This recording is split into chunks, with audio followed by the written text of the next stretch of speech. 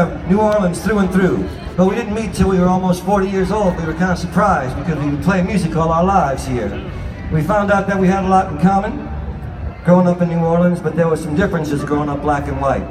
When John and I were little boys, we could not have ridden on the same part of the bus together. So we were discussing this, and he saw some cemeteries at the end of Canal Street and said, You know what, baby? My father's buried there. And I smiled and said, Man, that's something we got in common again. My father's buried across the street. And he smiled and said, Black or white? We're all going to meet at the foot of Canal Street here in New Orleans.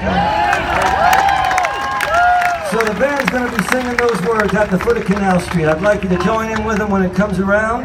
And uh, don't do it because I asked you, though I did. Don't do it because singing along is fun, though it is. Do it because there's somebody that can't be standing with you at Jazz Fest anymore. And I, I promise, if you sing from the heart, they're going to hear you because they're still alive right there.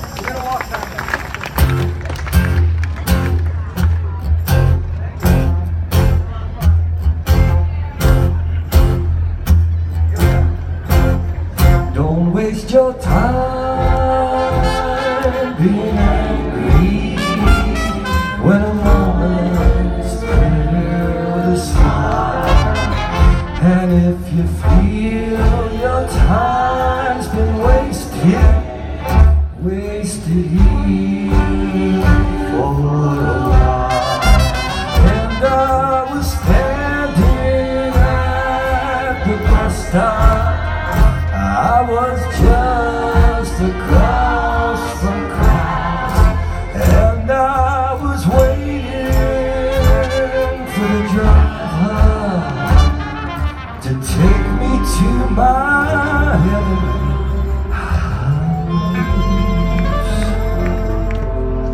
And I'll see you. there